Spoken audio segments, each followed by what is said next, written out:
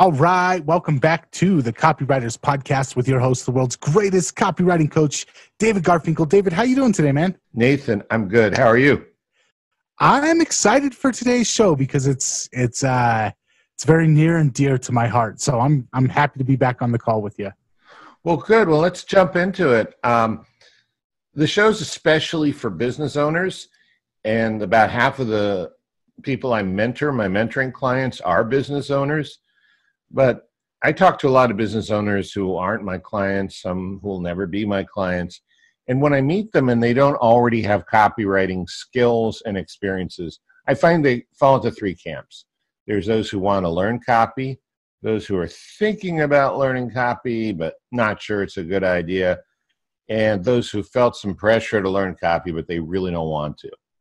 Okay, so I know that some people are zealots and they're pretty rigid.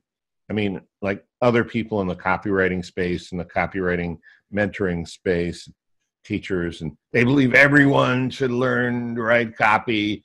And if you don't, it's like a mortal sin.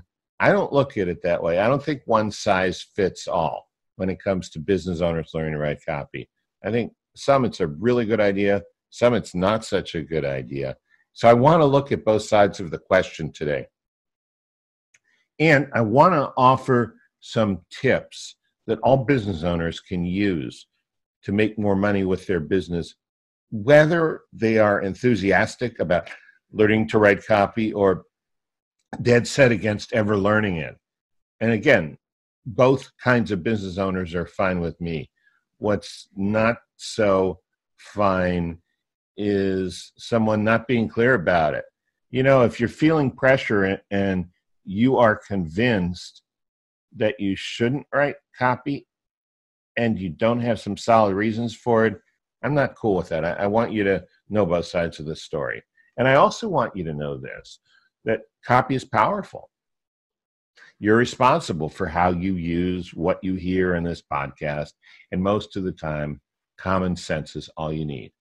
But if you make extreme claims and if you're writing copy for offers in highly regulated industries like health and finance and business opportunity, you may want to get a legal review after you write and before you start using your copy.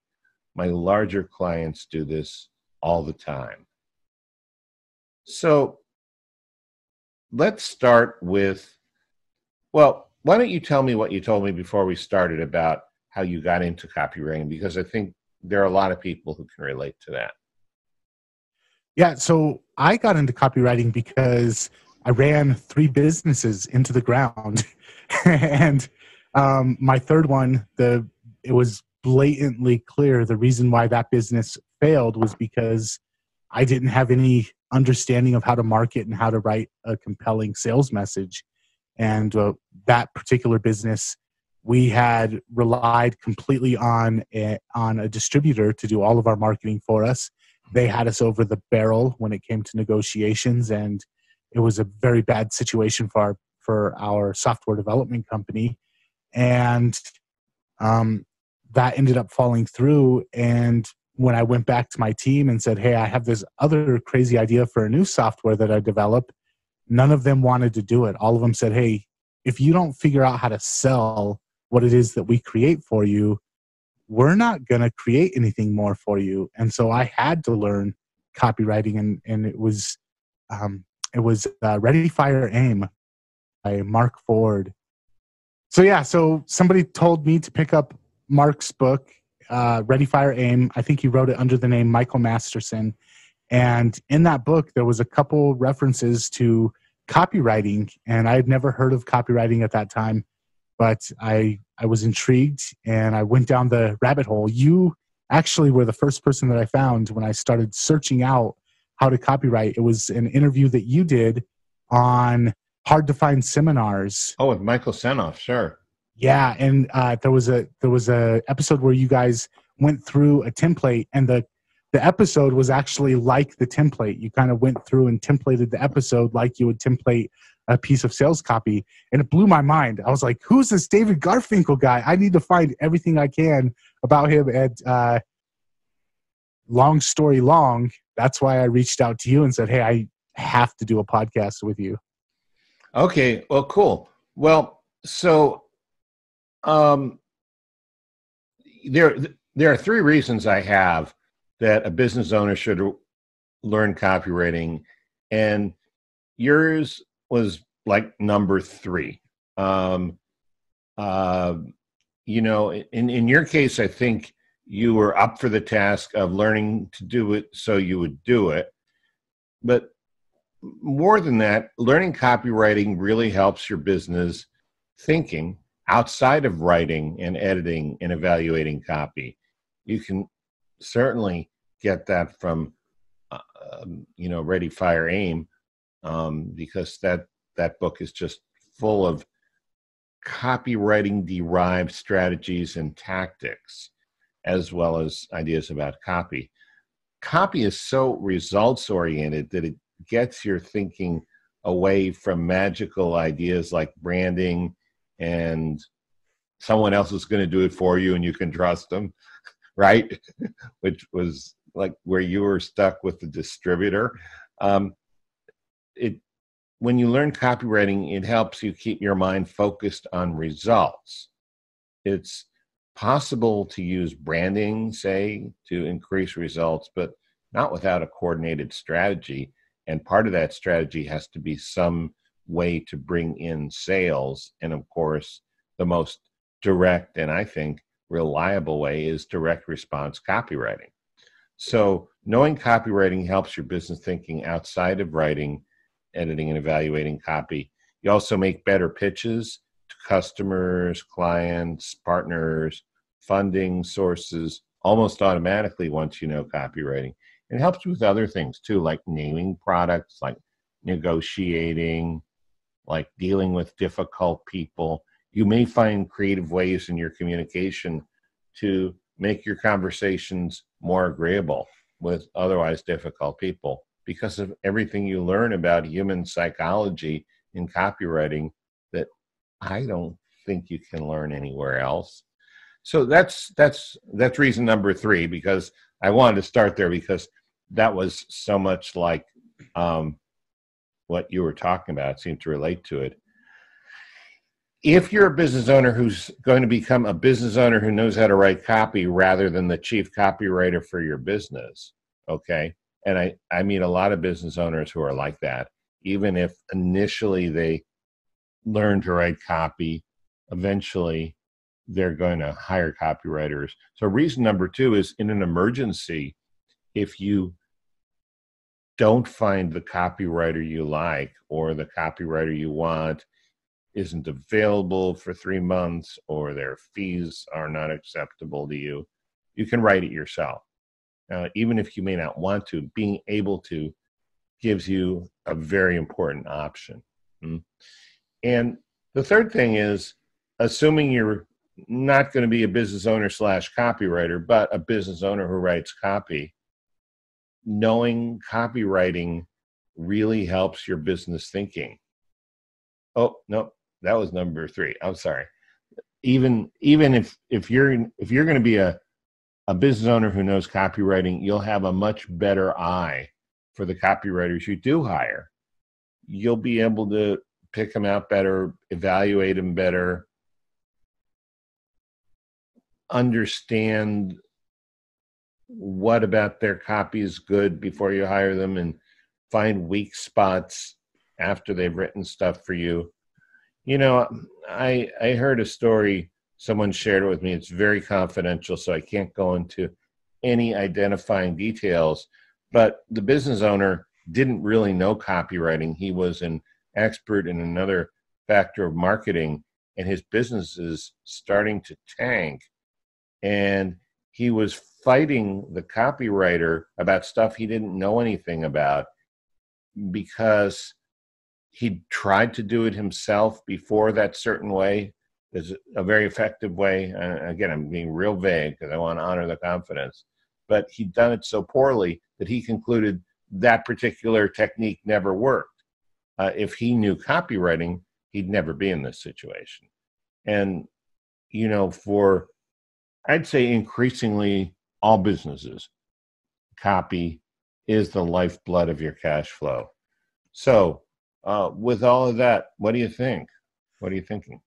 I want to add one thing product development. Understanding copywriting can really help you in product de- development because when you know what works good in copy, you know, okay, I need to have something that sets my thing apart. I need to know what my USP is. Uh, you also need to know whenever I'm going to take on a client, I'm going to ask them what are the what are the other competing solutions out there, and what frustrates people about those competing solutions, and how does your product or your service alleviate that frustration, alleviate those hurdles of disbelief that people are going to have.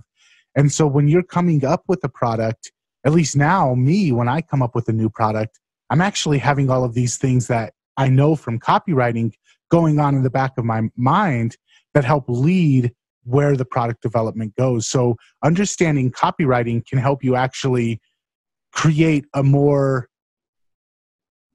a, a product that's more likely to succeed because you understand the things that go into writing copy and you apply those into the things that go into developing what it is that you're going to try and sell or what it is that you're going to offer the marketplace. That's such a good point. You know, if you went to Harvard Business School or um, really any any traditional kind of education that a lot of executives go to, you'd probably learn about a SWOT analysis strengths, weaknesses, opportunities, threats. And you'd use that to make all kinds of decisions, including marketing decisions. Or you might learn about the four P's or the six P's or not taking a P during a pitch or something. But, you know, um, the problem with a lot of the traditional marketing stuff is it's very clinical. It's like you're it's it's sort of like you're the weatherman on TV looking at this landscape called the marketplace and this tornado is a threat and this warm front is an opportunity, right? And what you're talking about Nathan is something that they may teach in business schools, but I have yet to hear about it and I'm sure now that I'm saying it doesn't exist, we'll get plenty of emails and Twitter things saying we're wrong. And that is the very personal stuff people's frustrations, people's complaints, not what people say in focus groups. Well, when I think of Copywriters Podcast, the color azure comes to mind. No, it's, you know, it's more like this water tastes like bananas. I don't I want my water to be taste, you know, it's a very personal complaints and frustrations actually tastes like water. I want to show you it was not not the actual situation, just a very far-fetched example. Copywriting teaches you that the market is made up of individuals who have feelings, and the the predominant feeling of one individual, predominant meaning there are a lot of people who have it, it's going to make a lot more difference. So, great point. Great point. So, we've covered a couple of reasons why business owners should learn sales copy and learn how to do copywriting. Are there reasons that they shouldn't? Yeah. You know, writing isn't for everybody. You could be very intelligent, very skilled, and not be a good writer. And it, it, you know, for a lot of people, writing is like pulling teeth, like pulling their own teeth, like doing their own dentistry. Not a good idea. Um, if it's not the best use of your time, maybe you shouldn't do it. It's not for everybody. Um, if you've never been good at writing, and especially if you own the business and your strength is entirely different than, say, verbal communications, maybe it's coding. Maybe it's product design. Maybe it's maybe you know i mean i i think of um uh some tv shows like billions. Bobby axelrod should not learn copywriting. You know he's a good quant he's good at figuring out the numbers and making deals um you know there um a, a lot of a lot of maybe henry ford shouldn't have learned copywriting he was better at inventing systems and coming out with a car and changing the face of America. Maybe Thomas Edison shouldn't have learned copywriting. Maybe Napoleon Hill should have learned copywriting to write about those guys. Oh, wait, he was a copywriter. Never mind. So it depends on the person. Um, he was also a journalist and a lawyer and a lot of other things, sales trainer. Um, so for some people, it's not the best use of your time. Now, there's another problem, and I've seen this. I bet you've seen this too because you take on clients now, right? And um, the the business owner might be tempted to write copy when they're too close to the problem. They, you know, it's that old curse of knowledge thing. It's like they've been living with the product, with the way people use it, with the underlying problems that the product solves for so long that they can't they can no longer put themselves in the shoes of the marketplace of the people in the marketplace. And um, you might have a sense of misplaced confidence that you know better than a co- oh god this happens all the time. You know better than a copywriter who has some distance and can see things better from a prospect's point of view learning copywriting is only going to make that problem worse because it's going to give you a false justification and a reason to get your back up and to close your mind to hearing new ideas that could very well possibly work. A lot of entrepreneurs are very strong willed people and, you know, kind of stubborn. And if your stubbornness is in that area, learning copywriting isn't going to make it any better you know? I mean that's that's like almost an entirely different conversation about you know how to surrender to the uh, better ideas of a copywriter than you can possibly have. I don't want to go there right now. But it's it's just not going to help someone like that. The the other thing the, the the important third point is a little knowledge can be a really dangerous thing. Unless the business owner is really willing to go all in and not only study it, but have enough experience in the marketplace, actually write stuff, actually track the statistics, actually notice the responses of customers, including, you know, customer service complaints or even ebullient testimonials from happy customers. Really get involved the same way that a copywriter is not that they have to spend their whole life and their whole career in the business doing that but they have to do that enough so they can understand what it's all about and what their copyright is going through unless they're willing to do that they may end up thinking they can direct or even micromanage a more experienced copywriter on false premises and this could hurt the business owner because their results will suffer. Your thoughts? Uh, I'm just wondering if you have any advice for finding that balance between knowing. Uh, we talked about how it's important to know how do I grade whether or not, or how do I determine whether or not this copywriter that I'm going to hire is a good copywriter. How do you have that knowledge, but also be in a position where you're willing to let go and let the copywriter do their thing? Well, first of all, they're two different stages, aren't they? I mean, the first one is evaluating the person and talking with them before you ever sign a deal and write a check, right? And the second one is your working relationship with them after you've made a deal, after you've made a deal, and after you've written a check. So um, they're they're two different things. Look, it's not easy. I, I don't have. It's a great question, but the the reality is a lot of experienced copywriters say that unless you're making your client uncomfortable, you're probably not doing a good job with the copy. Mm-hmm. I I guess part of it as a business owner is to learn that you're in control of a lot of things. It's your business. You got into the business to have more freedom and uh, more control over your life. But there's sometimes when it's better to, just like if you were going to court for tax evasion and you didn't evade taxes, you're probably not going to try and tell the accountant how to do their job or the lawyer how to do their job, even if you're an accountant or a lawyer, not if you're smart, you know. Um, and copywriting is a little more subjective, but maybe it's exactly the same thing. You you need to learn how to let go a little bit. Yeah, and I think one thing that you mentioned, and probably every every good copywriter that's taken on a number of clients has experienced this. I know personally, I've ran promotions where the client told me I'm not comfortable running that, and I've had to push back against them.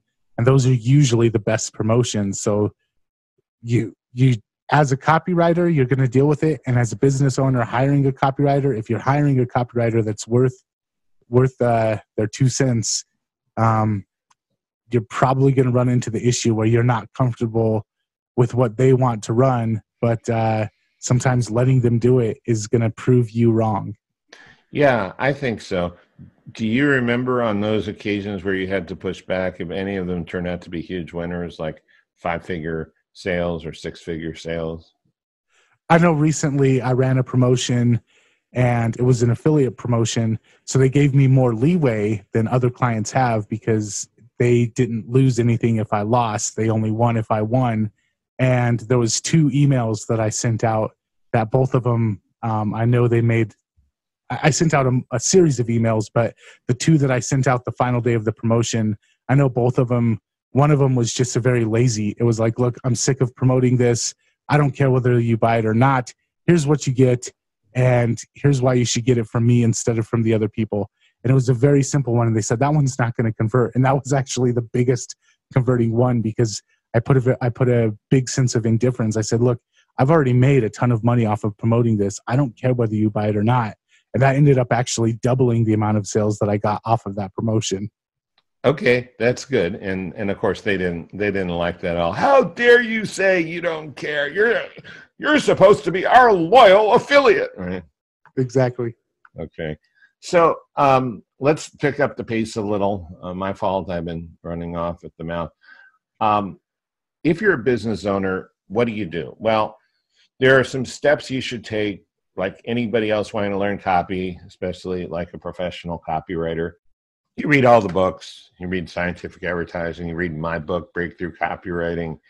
You read Gene Schwartz's book, Breakthrough Advertising. You do all of that stuff. All that, all the books. We we have a couple of episodes just devoted to books books on copywriterspodcast.com and listen to this podcast and you know if you're this is the first one you've heard then go back on copywriterspodcast.com and listen to the first dozen episodes those are really good for an experienced person in business who's just learning about copy. And take some courses. One I particularly like, carltonsystem.com. It's John Carlton's course. I helped him develop it and in the first version, and I've taught it a few times. It has a virtual classroom and it'll give you some feedback. Works well for business owners. So anyone should do that. Um, the different things that a business owner should do that a copywriter should not necessarily do could do but wouldn't be as as helpful um, talk to business owners who know about copywriting and actually use it um, because the concepts will make a lot more sense when you have them in that context for example i do a mastermind with john carlton stan dahl we have a lot of business owners in there they talk to each other one of them is also my client and he was referring to something that another person said at the meeting that you're just not going to get if you're not in that environment. Um, there's that one. There are other ones that are very good. I don't know all of them. I've always been impressed with what Ryan Lee does. I don't know him very well, but I feel very confident recommending him. Dan Kennedy's programs are great too. Just being a copywriter is a weird thing, and it's good to be part of a community. And the same holds true for business owners who know copywriting. Now, I, I just want to go over one thing, Nathan, that even if you never learn copywriting as a business owner, you should know there are a few things you can hire copywriters for that will make your life easier, make your margins fatter, put more money in the bank, allow you to do more things with the business or kick back a little more if you want to. The most important thing to know is you can use copywriting the same way you use cold calling. You can also, that is, to get new customers. You can also use copywriting for portions of the sales process, especially the most time consuming or labor intensive part of the sales process. Maybe not to close the sale, maybe just to make an appointment, maybe just for a series of steps on a big ticket item to answer technical questions, deal with a prospect's emotional issues, maybe just to close the sale after you've warmed the prospect up live and in person. So that's the second way, portions of the sales process. Uh, one other way, you can use copy to develop the customer relationship and make additional sales the way Brandon Fredrickson talked about a few episodes ago on the on the uh, episode called "Stop Leaving Money on the Table." People who buy from you once are more likely to buy from you again than new prospects are likely to buy from you in the first place. Those are three ways you can use copy to increase your business way above the cost of the copy without even making any major changes in your system.